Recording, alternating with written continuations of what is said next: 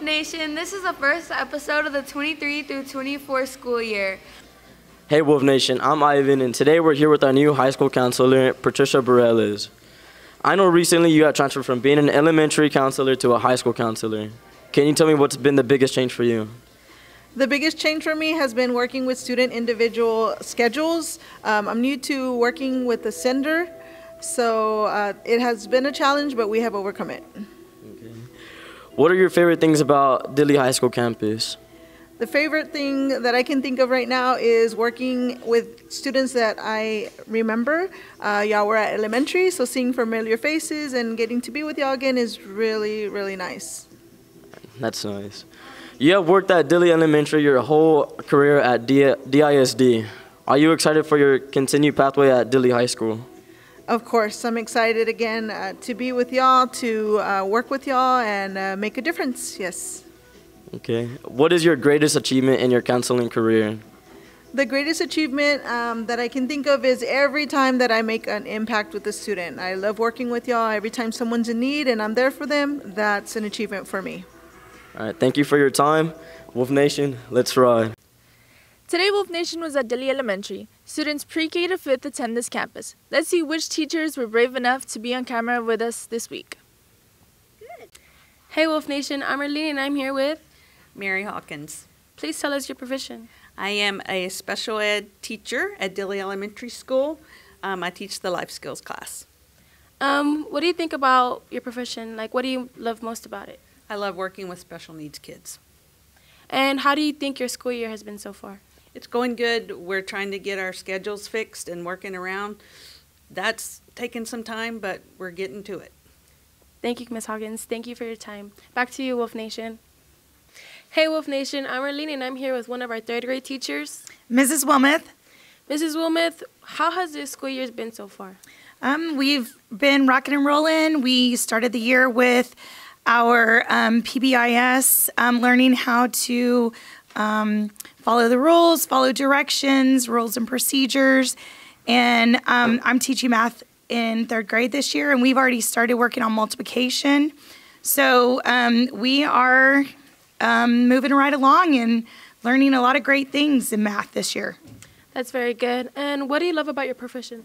Um, I like to see the kids learn. I like to see what they come in learning or what they come in knowing, and then seeing what they've learned throughout the year and seeing how they do um, by the end of the year. So, seeing the progress from the beginning of the year to the end of the year, I like to see the growth.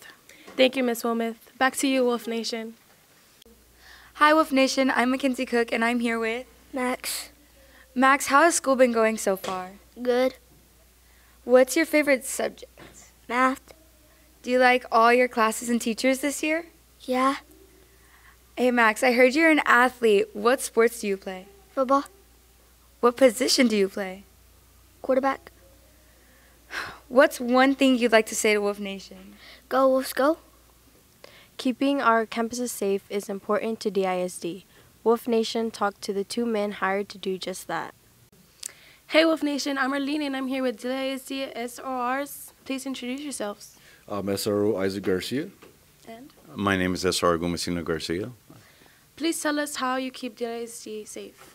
We uh, mainly check uh, interior, outerior doors, make sure that they're all locked, um, just to keep people who are unknown to the school district to uh, make no uh, point of entry into the building, so we can keep the students and teachers safe.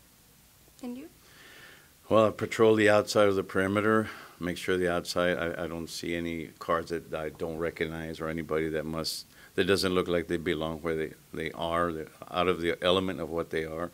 What you're used to seeing in school, I walk uh, inside the building, check the doors, make sure all the uh, doors are secured, make sure students are safe, and if they have any questions, I'll tell them, if they need to ask me a question, to come up to me. If they need help, to come up and ask me what they need. If they have any issues at home, then I can explain that to them too, or try to help them out, or direct them where they need to go.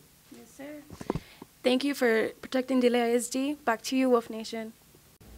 Hey Wolf Nation, I'm Andrea and I'm here with Coach Rios, our head girls athletic coordinator and head volleyball coach.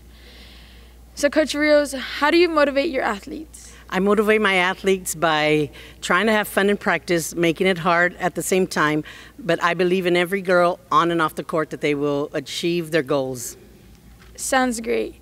So, Coach, how is district looking like this year?